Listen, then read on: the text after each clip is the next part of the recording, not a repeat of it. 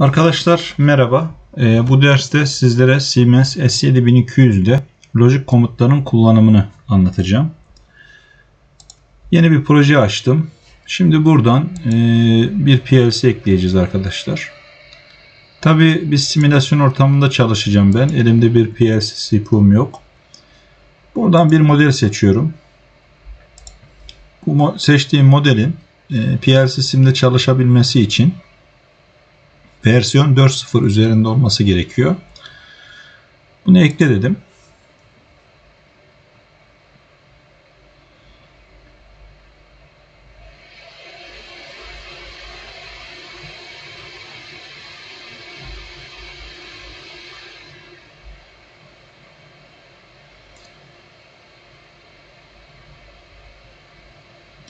Evet arkadaşlar şu an e, burada CPU'muzu görmektesiniz. Program yazmadan önce burada e, simülasyonu çalıştırın arkadaşlar. Şu an PLC sim bizim bu e, PLC CPU'muzu bulmaya çalışıyor. Şimdi buraya IP adresi gelecek.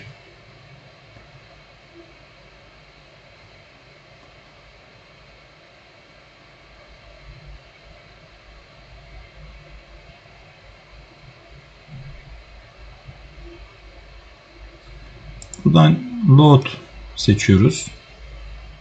Daha sonra finish diyoruz. Evet şu an bizim e, IP adresini buldu ve simülasyonumuz ne yapıyor? Çalışacak anlamına geliyor bu. Burada dursun.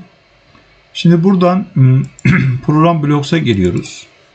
Burada main OB bir bloğuna programımızı yazacağız.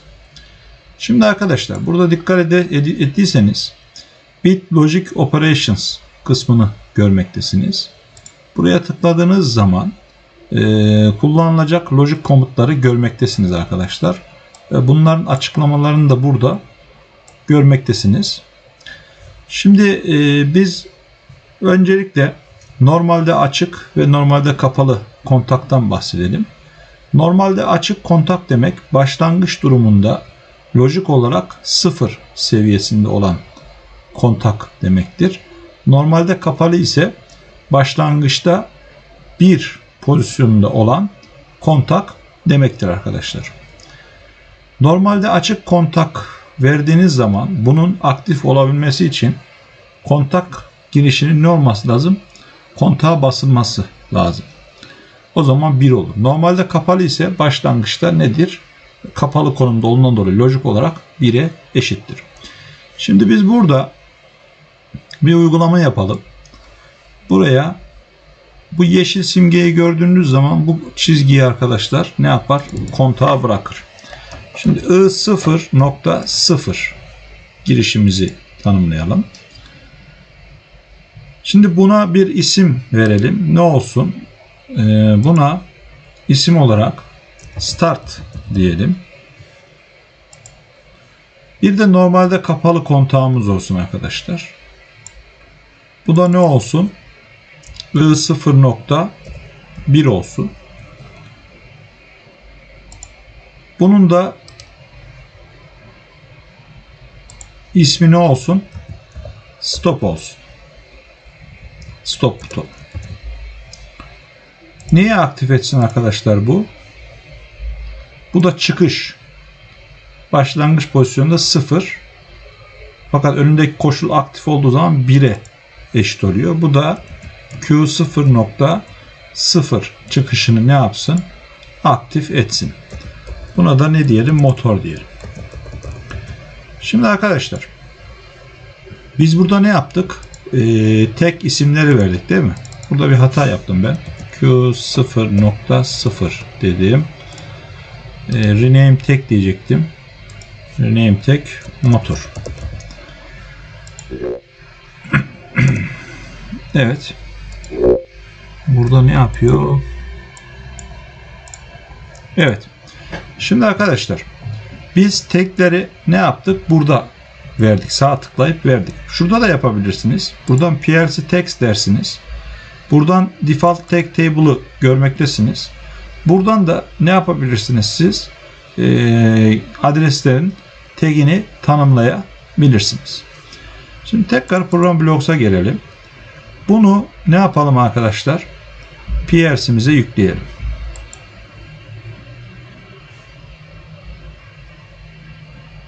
Yükle diyoruz. Finish dedik. Şu an PLC'mize bu yüklendi. Şimdi gelelim PLC sim'e. Şimdi simülasyon yapmam için buraya basıyorsunuz arkadaşlar.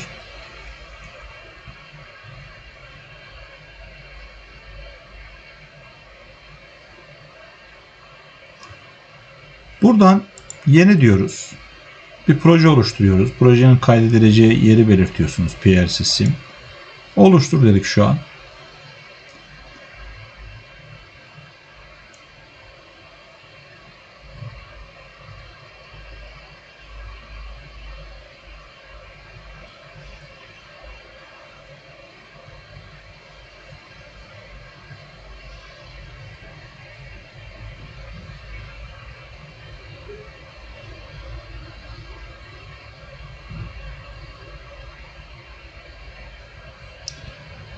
Evet şu an oluşturuyor arkadaşlar. Bekliyoruz.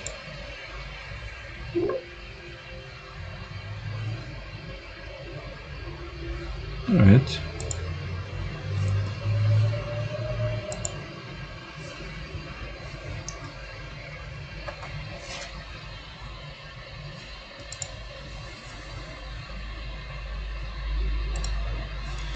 Şimdi buradan sim table'a geldiğimiz zaman Buradan ne yapacağız? Adreslerimizi bir tanımlayacağız. I0.0 demiştik. Değil mi? I0 e, pardon I0.0 I0 pardon I0.1 bir de ne vardı? Q0.0 vardı. Evet şimdi ne yaptı? Onların hepsini yüklendiğinden dolayı gördü. Bizim tanımladığımız tekleri gördü. Şimdi bunu bir çalıştıralım. Tabi e, buradan da çalıştırabilmemiz için bu gözlük simgesine basmamız lazım arkadaşlar. Evet. Şimdi burada bunu şöyle yanaştıracak olur isek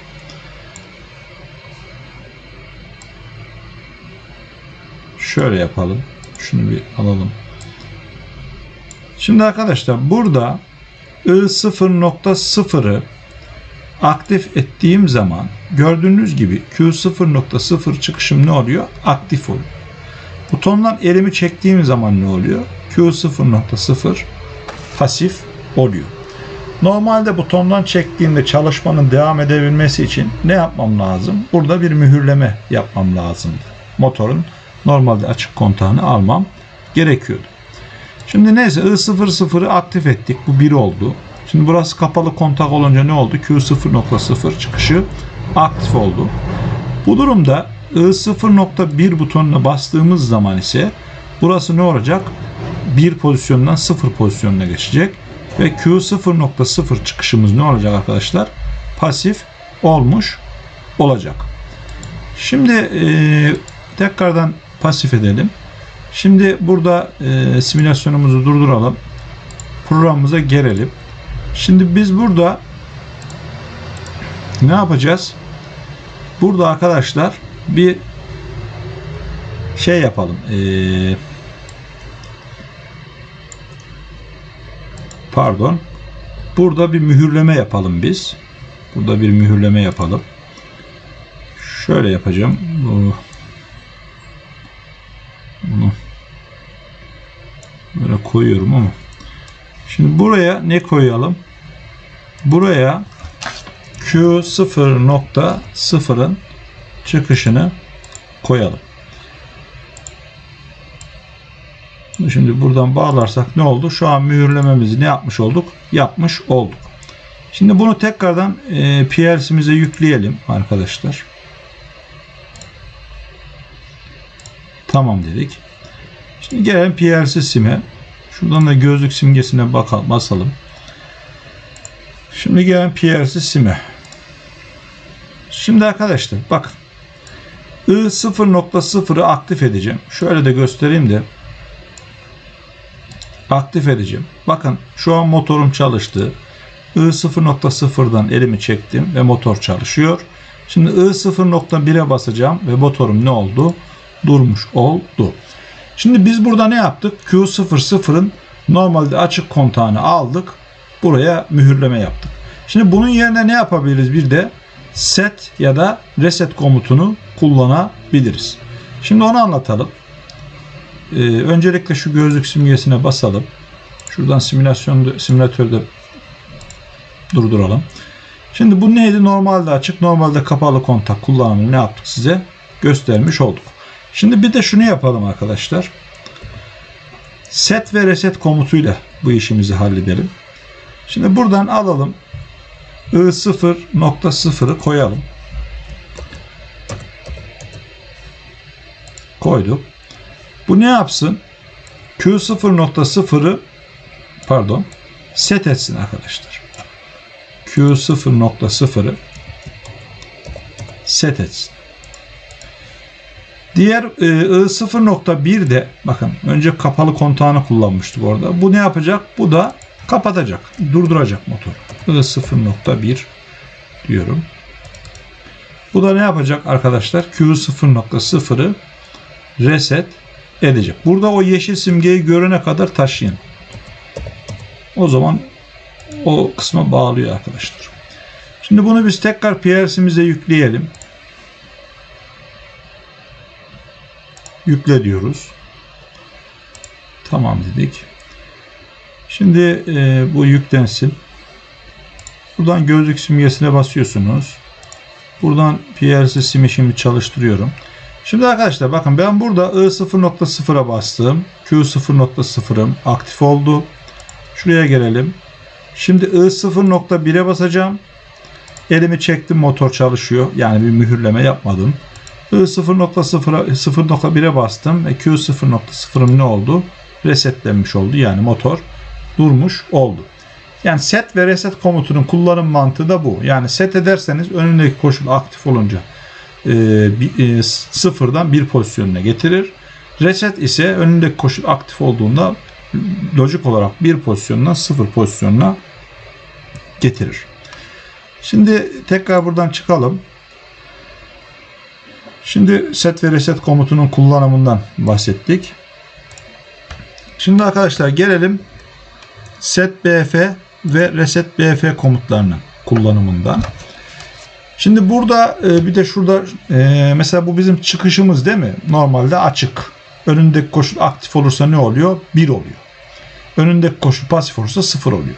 Bu çıkışı değil yaparsanız önündeki koşul aktif olduğunda 0 olur. Önündeki koşul pasif olduğunda 1 pozisyonda olur arkadaşlar. Bunun kullanım amacı da bu. Ee, biz şimdi bir de set bf ve reset bf komutundan bahsedelim. Set bf komutu arkadaşlar şöyle bir komut. Siz burada kaç tane noktayı set edecekseniz, birden fazla set yapacaksanız bunun başlangıç adresini veriyorsunuz. Ve burada arkadaşlar kaç adet set yapacaksanız onu belirtiyorsunuz. Ben diyelim ki 4 tane çıkışımı set yapacağım. Yani Q0.0, Q0.1, Q0.2 ve Q0.3'ü ne yapacağım? Set yapacağım. I0.0'a basıldığında. I0.1'e basıldığında da ne yapalım? I0.1'e basıldığında da arkadaşlar bu 4 tane çıkışı reset yapalım. Şimdi e, buraya yani birden fazla noktayı set ve reset yapmada kullanılıyor bu. Set BF ve reset BF. Q0.0 dedim. Kaç nokta? 4 nokta. Şimdi e, tabi bunları şuraya teklere tanımlayalım arkadaşlar. Q0.1 Q0.2 ve Q0.3 Şimdi bunlara da bir isim verelim.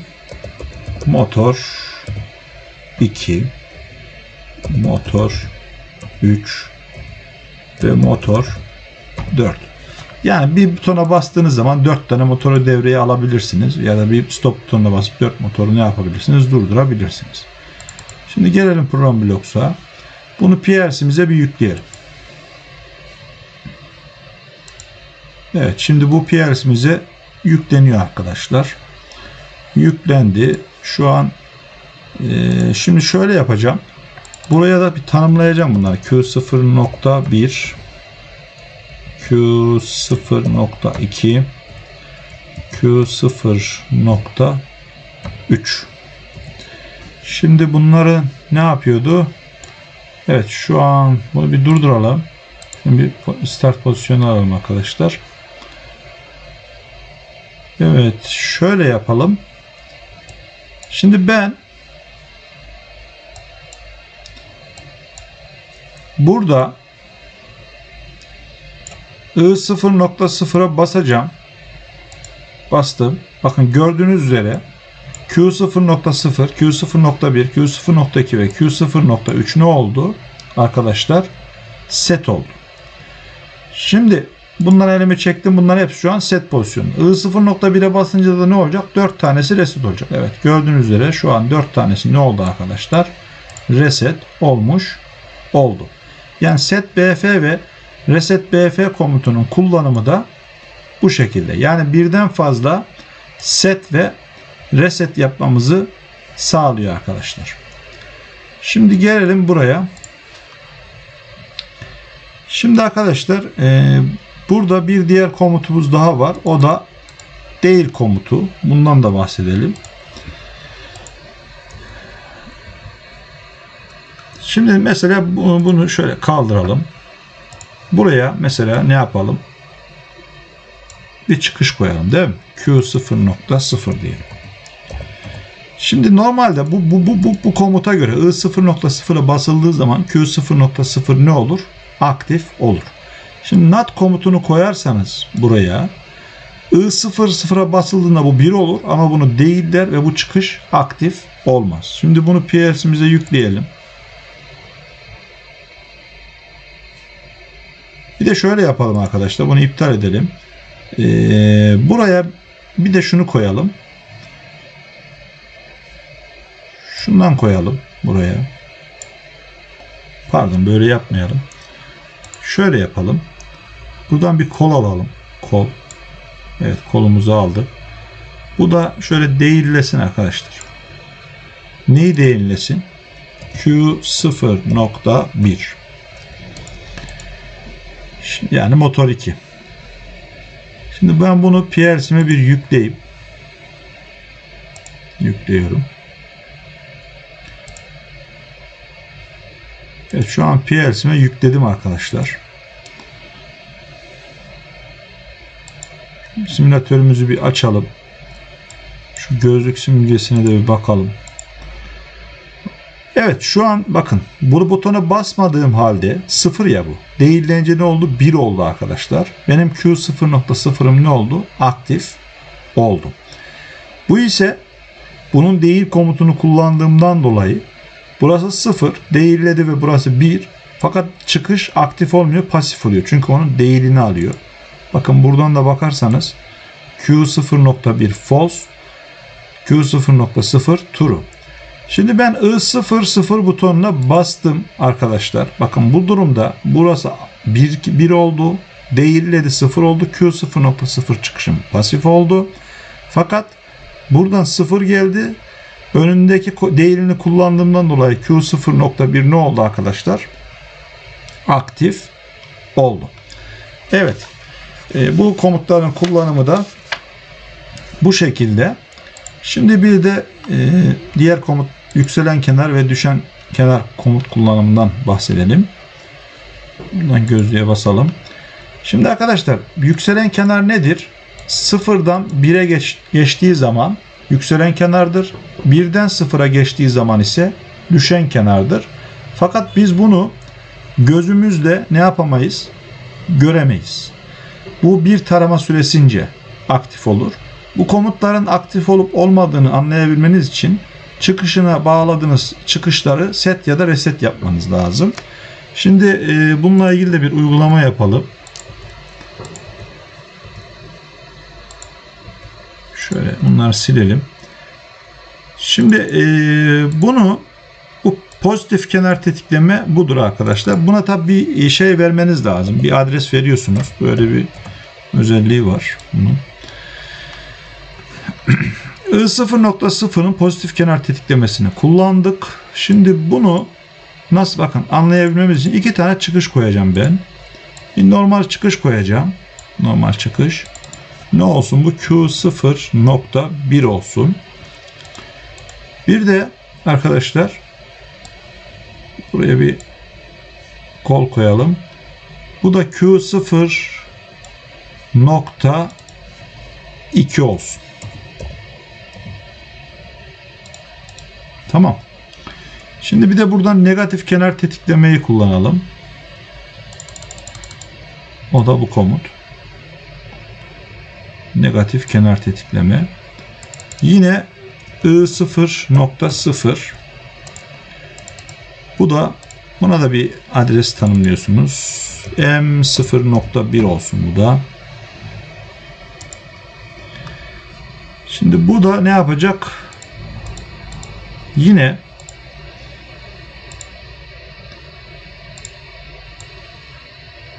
ne yapsın? Bu da Q0 nokta Q0 nokta 3 olsun.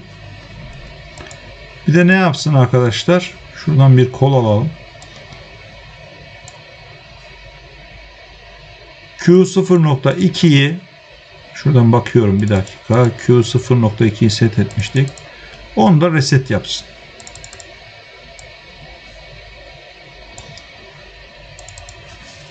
Q0.2'yi de reset yapsın. Şimdi bunu PLC'mize yükleyelim. Yüklüyoruz. Tamam dedik. Şimdi gelin PLC sim'e. Buradan gözlüğümüze basıyorsunuz. Şimdi arkadaşlar bakın. Şu an benim I0.0'ım e, bunu bir çalıştıralım öncelikle. Şu an benim I0.0'ım basılı gözüküyor arkadaşlar. Şöyle yapacağım. Bunu bir kapatalım. Şimdi I0.0'ı bastığım zaman sıfırdan 1'e geçtiği zaman Q0.1 aktif olacak. Q0.2 de set olacak. Fakat ben Q0.1'in aktif olması bir tarama süresince olunca ben bunu göremeyeceğim. Evet şu an bastım. Fakat ne oldu? Q0.1'i ne yapamadım? Bir tarama süresince olunca göremedim.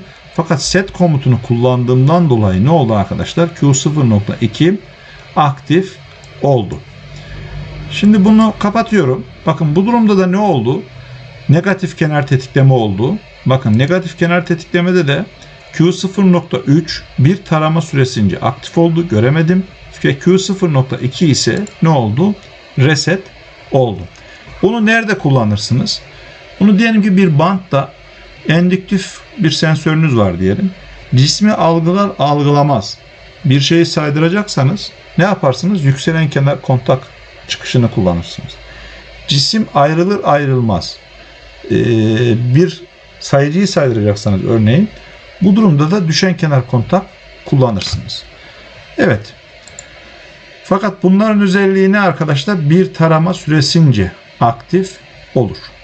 Şimdi tekrardan e, bir diğer komut daha var. Ondan da bahsedelim. Set, reset, reset, set. Yani bunu aslında flip flop olarak da düşünebilirsiniz. E, birbirinin kullanım mantığı aynı fakat birbirinin tersi özelliğinde oluyor. Şöyle yapalım. Buraya bir 0.1 koyalım. 0.0 diyelim pardon. Şimdi ben bu set reseti alayım arkadaşlar. Buna bir adres vermemiz lazım. Yine M10.0 olsun bu da. Şimdi burada reset bacağını soruyor size. I0.0'a basınca set ediyor. R1 bacağını da reset yapıyor. Buraya alalım bir bağlayalım bir tane daha giriş. O da ne olsun? I0.1 olsun. Ne yapıyordu bu? Q0.0 çıkışını kontrol etsin. Yani I0.0'a bastığınız zaman Q'nun 0.0'ı set edecek. I 0.1'e bastığınız zaman ise Q 0.0'ı reset edecek. Set reset bu. Diğer RS de reset set. Yani tam tersi. Bunu yükleyelim. Evet. Şu an yüklendi arkadaşlar. Şimdi şu PLC sim'e gelelim. Bakın I 0.0'a bastım. Q 0.0'ım aktif oldu. Sonra elim butonunu çektim. Q 0.0'ım şu an set olduğundan dolayı aktif. I 0.1'e bastım ve Q 0.0'ım ne oldu? Reset olmuş oldu. Yani bununla mesela ne yapabilirsiniz? Kare dalgalar üretebilirsiniz arkadaşlar. O şekilde düşünebilirsiniz. Ee, bunun önüne bir e, sensör bağlarsınız. Timer bağlarsınız ya da bir sensör. Buradan kare dalgalar üretebilirsiniz. Bu set reset, diğeri ise reset set. Evet arkadaşlar e, S7200 PLC'lerde e, TIA portalda kullanacağımız lojik komutların kullanımını anlattık. E, dersi dinlediğiniz için teşekkür ederim.